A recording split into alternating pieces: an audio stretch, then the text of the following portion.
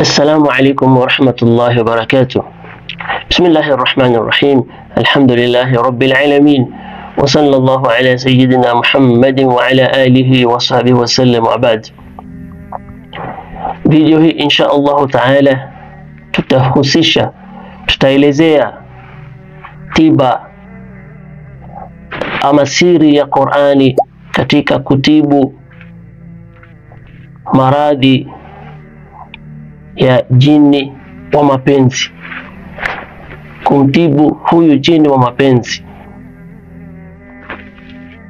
Ni tatizo ambalo kwamba wengi linawakumba na wametuomba tutengeneze video inayohusu maudhui haya, na hii insha Allahu taala video bila shaka itakuwa ni natija ama tiba ama afueni kwa wale ambao kwamba wana tatizo kama, tatizo kama hili na vile vile itakuwa ni, ni kinga kwa wale ambao kwamba Mola Subhanahu wa Ta'ala hajawapatia mtihani kama huu. Natumwomba Allah Subhanahu wa Ta'ala atulinde na mtihani huo. Kabla kuanza kuelezea siri hii insha Allahu Ta'ala, basi tuanze kwa kumsalia Bwana Mtume sallallahu alayhi wasallam.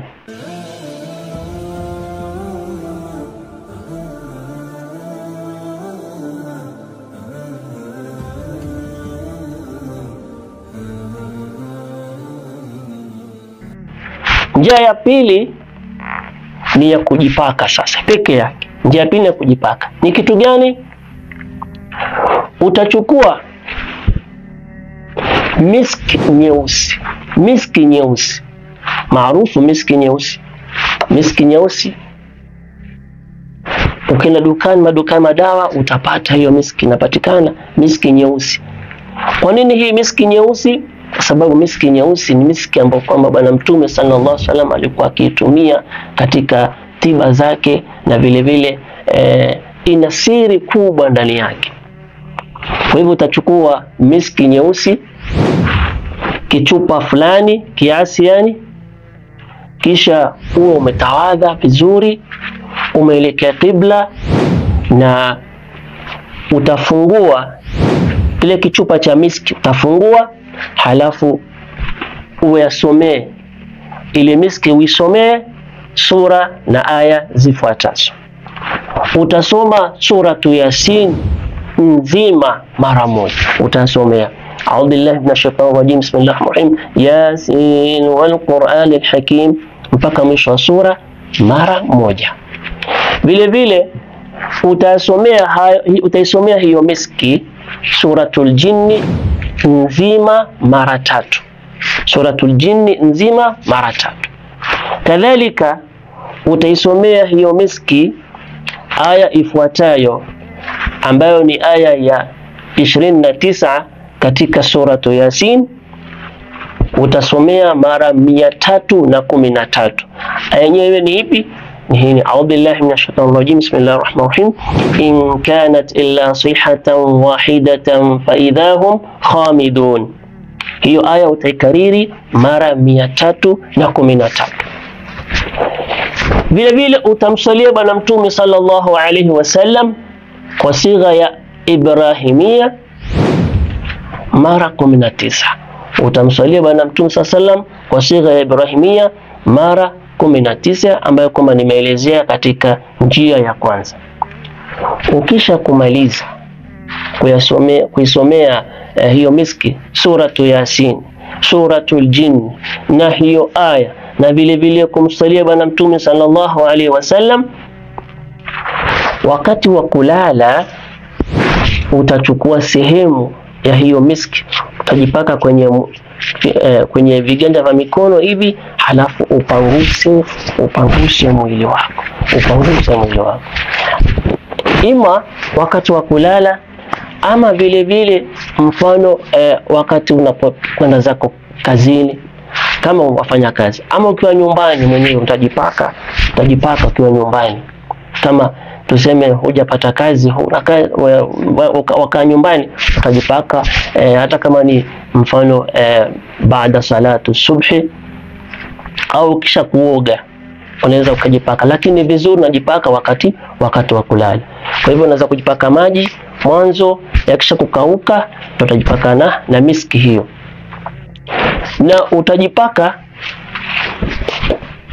kwa muda wa siku saba, lakini waweza pia ukaendelea kujipaka mpaka muda wa siku ishirini na moja muda wa siku ishirini na moja. Kwa hivyo ni vizuri uwe na mafuta mengi, uh, uwe na miski nyingi, afu uwe na miski nyingi ndio iweze kutoshea kwa muda wa kwa muda wa siku ishirini na moja. Insha Allahu taala, ukishafanya hivyo utakuwa wewe umeshatekeleza njia ya pili katika tiba ya kumtibu na kumtoa huyu eh, jinu al-ashiq.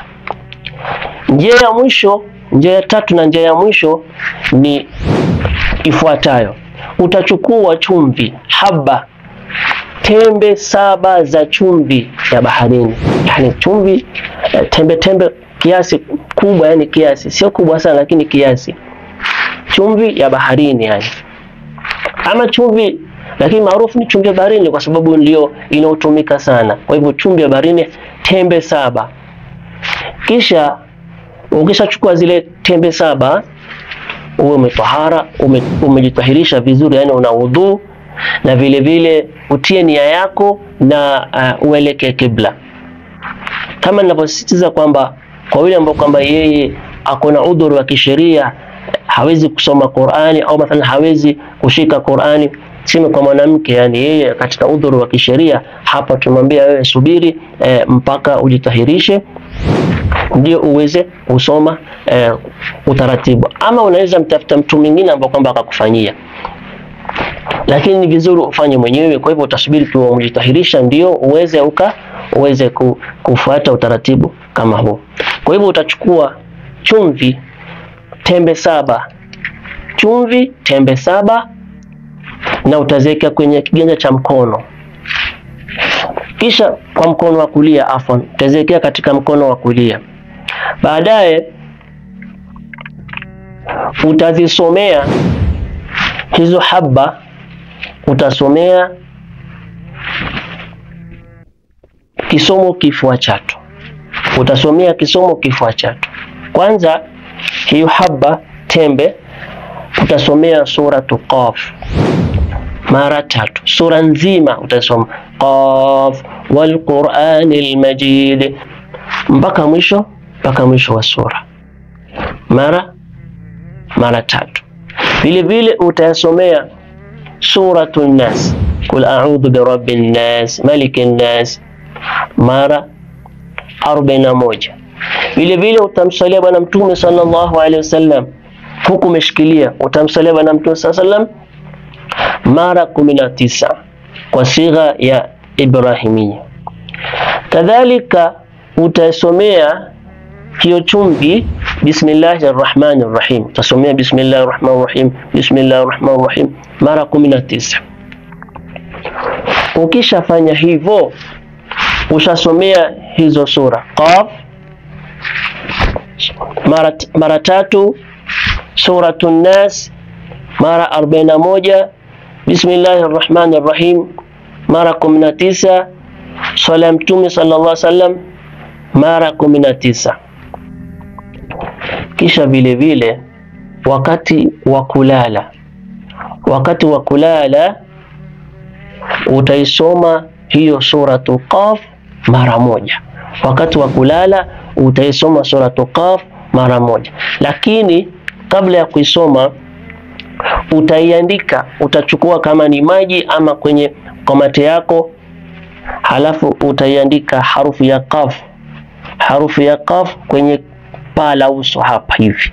Harufu ya qaf utaiandika kwenye paa la uso hapa hivi, na utasoma suratul qaf kwa muda wa siku saba, yani utasoma hiyo suratul qaf nzima kabla ya kulala, kisha zile chumvi ambazo kwamba umesomea haba, umesomea hizo sura zile haba saba, kila moja wakati kuja kula chochote asubuhi, utaiweka kwenye ulimi wako, iyeyukie kwenye ulimi wako, Ikisha kuyeyuka kwenye ulimi wako, utameza hayo mate, utayameza hayo mate kila siku. Utachukua haba moja mpaka muda wa siku saba ambazo kama zitakuwa ni tembe saba. Kwa hivyo kila siku tembe moja, tembe moja, tembe moja mpaka muda wa siku saba, na kila ukiweka unaiacha mpaka yayuke mdomoni hapo, kisha baadaye ndio unameza hayo mate kwa uwezo wa Allah subhanahu wa ta'ala.